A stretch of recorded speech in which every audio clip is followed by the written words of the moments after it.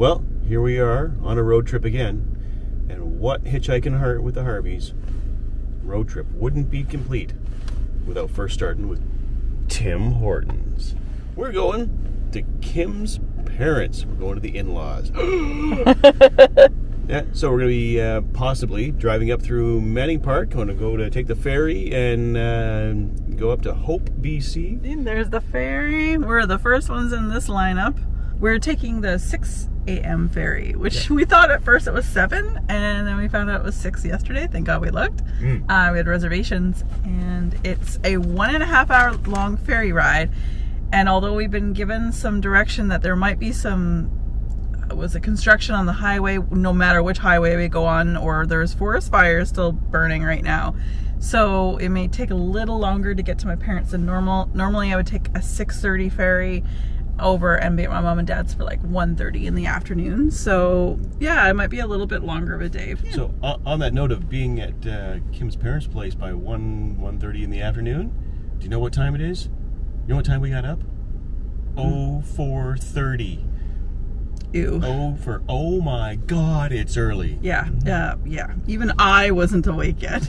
That's like saying something. We're going to be going on a wine tasting tour, Mm. kind of our own little tour uh, with my parents. So we're going to bring you guys with us. But the weather is supposed to be great. This is uh, the Canadian Thanksgiving long weekend. We'll just, you know, see what happens if there's anything else. And yeah, well, you guys, we'll take you along with us. So with that being said, Come hitch a ride. yeah.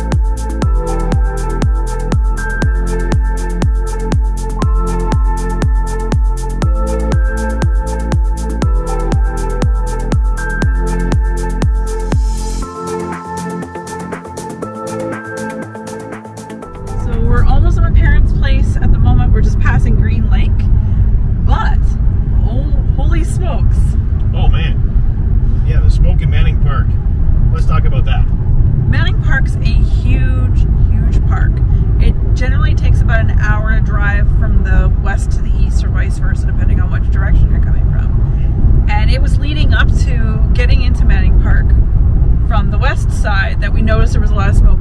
Generally in around the Abbotsford, Chilliwack areas, you know, you could tell there was forest fires. But guys, it's like October 8th or something, and it's so, so dry here right now. They haven't seen rain or significant rain without lightning in a long time, and everything's parched. Rivers are almost all dried up still here, and the forest fires are still burning. And when I say, when we say it was thick, she tick by. Oh, yeah. Because Stick. like just I unrolled the window to take a video clip and that it just that thin amount of the had like the the window the glass and I put it down it's, it's significant change and it was already bad in the car It was but like it you were was really sitting around bad a campfire. Like, like, Like in no the smoke. like, yeah. is in your face like the whole white rabbits yeah. thing yeah, or whatever The smoke blows in your face, you're sitting at a campfire, and you're like, hops. Oh my God. And then we saw cyclists, which there's generally lots of cyclists who like to challenge themselves. Um, this looked like a retired couple going up the mountain, which kudos to them. That's a lot of work. That's amazing. But they were going up, and they didn't. I'm sure that they could see it coming. All that smoke they're gonna have to breathe in. Oh, Yeah, their like visibility was down to yeah, maybe 100 feet. yards. Yeah, yeah. In, in some cases, less. It was bad. The cars coming in the opposite direction, you were able to see a bit of their lights, but man almighty, that was bad. But then we come down the hill into Princeton, suffered an absolute horrific flood. Yeah. Um, it So the same, seems- the same flood that hit uh, the lower mainland. That's right, through the, the valley. Yep. So Abbotsford, Chilliwack, Agassiz, Hope, Princeton, um, all of that, and in, in uh, Coquihalla as well. Anyway, this place has seen a lot of devastation in the last 20, well, 12 months probably. Yep. But man, is ever thick. Like it, my eyes were dry, we were coughing, and that was what So I don't think we're going to be filming too, too much more today because when I get home to my family, I just want to spend time with them. And they're not much for going in front of a camera. So um, tomorrow is going to be a big wine tasting day and we are being treated to a lovely lunch at Lake Breeze, which is a winery that does amazing food. So of course we will be taking you with us. I hope these little bits of clips showing you how smoky it is, just know that it's not, I have like, it's not that I haven't cleaned my lens on my cap or anything, my lens oh, yeah. at all, but uh, it's just really smoky. But really, it would have made for, for some amazing photography. Oh yeah, it looks eerie, like October as if it was fog.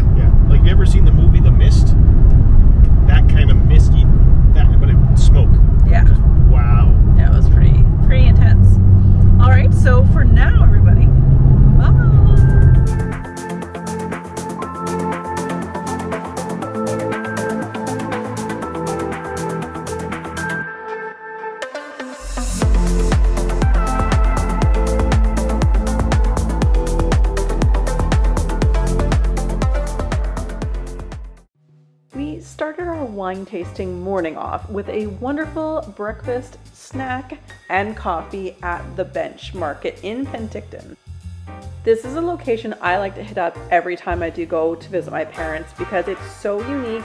It's all supporting local artisans as well as farms in the local area.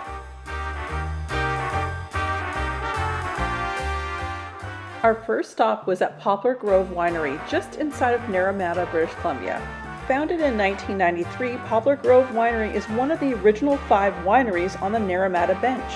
With stunning views of Okanagan Lake, this is a great place to come, relax, have a meal because they do have catering as well as a restaurant. But they also do amazing wine tastings here. They even have a little private tasting room as you see right here. Poplar Grove Winery is recognized for crafting their outstanding signature red blend, the Legacy, as well as delicious Cabernet Franc, Merlot focused wines, and an exceptional Pinot Gris.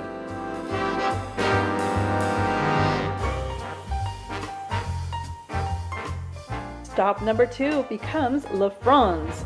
Jeff and Niva Martin purchased the current site of La Frenz back in 1999, which actually used to be an apple orchard growing grape varietals such as Malbec, Cabernet Sauvignon, Petit Verdot, Chardonnay, Riesling, and Pinot Noir, just to name a couple.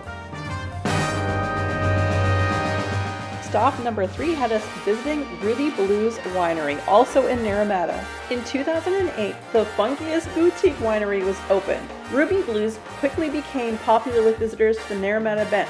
The vibe is fun with fine wine and great rock and roll music. Such a great vibe here, guys. Highly recommend coming here. It's awesome. The people were great and non-pretentious.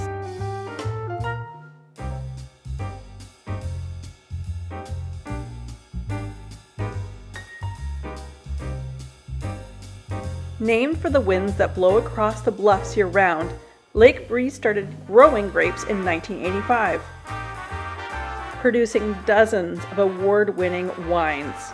Something to take note here though is this was the only winery we needed to have a reservation to do a wine tasting. The Patio Lake Breeze restaurant is absolutely stunning. This is a seasonal restaurant only opening between the months of May and October. We all enjoyed such an amazing meal with of course a wine pairing. Highly recommend you guys come and check out this restaurant if you're in the Naramata area onto a slightly different stomping area. This is Tickleberries. This is the best place to get ice cream in the South Okanagan. Well, on summer holiday, a couple from Whitehorse in 1988 fell in love with the area, and in 1990 they opened Tickleberries. Making their own chocolates, fudge, kettle corn, and serving more than 50 flavors of ice cream. Tickleberries is the most important place to come to for that summertime treat. On our way back to Vancouver Island after an amazing weekend with family, wine, food, you know how it goes, we had to stop in Keremeos because on our way up to the Okanagan Valley, we saw a lot of these beautiful pumpkin stands that just were just screaming like stop and take pictures and respect how much time all of this took many people to do.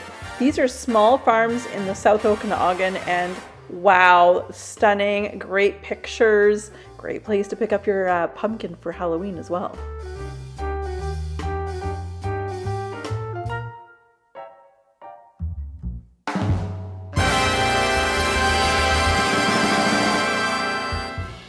On our next episode, Nelson and Monty and I take you right back to Lunenburg, Nova Scotia, where we take you to one of the most amazing Canadian iconic pieces, and that is the Bluenose 2.